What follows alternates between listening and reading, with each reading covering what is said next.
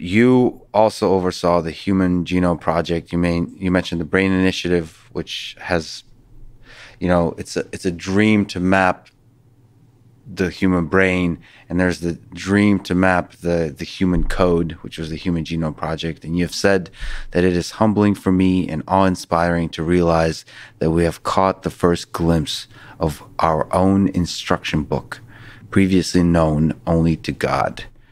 How does that, if you can just kind of wax poetic for a second, how does it make you feel that we were able to map this instruction book, look into our own code, and be able to uh, reverse engineer it? It's breathtaking. It's so fundamental.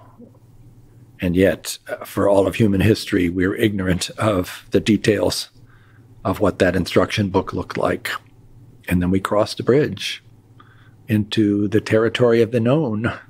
And we had that in front of us, still written in a language that we had to learn how to read, and we're in the process of doing that and will be for decades to come. But we owned it, we had it. And it has such profound consequences. It's it's both a book about our history.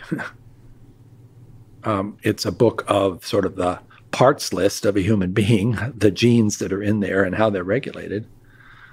And it's also a medical textbook that can teach us things that will provide answers to illnesses we don't understand and, and alleviate suffering and premature death. So it's a pretty amazing thing to contemplate.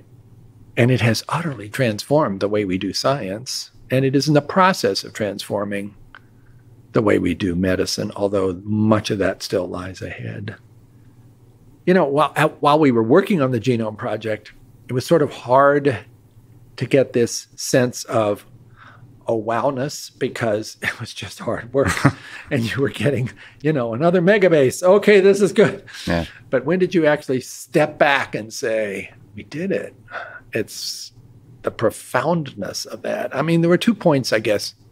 One was the announcement on that June 26, 2000, where the whole world heard, well, we don't quite have it, but we got a pretty good draft. and suddenly people are like realizing, oh, this is this is a big deal.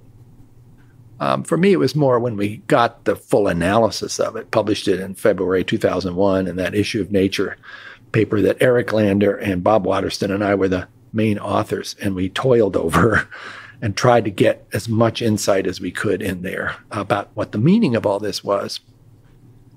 But you also had this sense that we are such beginning readers here. we are still in kindergarten trying to make sense out of this 3 billion letter book and we're going to be at this uh, for generations to come.